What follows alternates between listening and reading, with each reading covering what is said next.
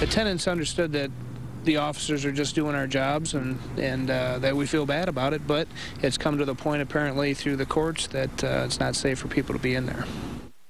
The Woodville Mall is closed for business, possibly for good. Good evening, I'm Sean Hagerty. Laura has the night off. Northwood Police and Wood County Sheriff deputies locked the doors this evening, leaving the business owners inside asking, what's next? Fox Toledo's Jennifer Steck joins us live with what that closing means for their businesses. Well, last Friday, tenants were given a letter notifying them inspectors would be coming to the mall on Monday.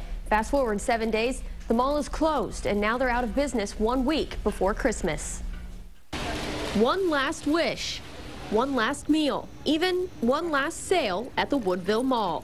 We went through and made sure that uh, that the the safety of the uh, the public was adhered to through this court order and made sure everybody uh, left the mall.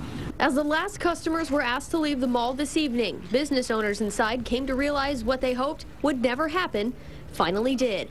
Uh, we worked so hard during the year to make it to this week financially, and now we can't count on it. We'll hope we hope we end up in the black next year, but this year's definitely going to be red.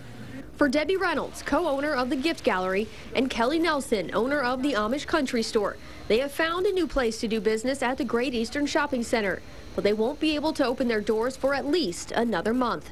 We're no different than some households out there. You know, we're, we're week to week with what we do. We haven't been in business that long, so something like this is a great impact on, the, on, a, on a small business. I doubt if we'll ever make it up. I doubt if we'll ever make it up, but will we make it? Yeah, we'll make it. Well, the mall is officially closed to the public as of tonight. Business owners inside have 14 days to remove their merchandise.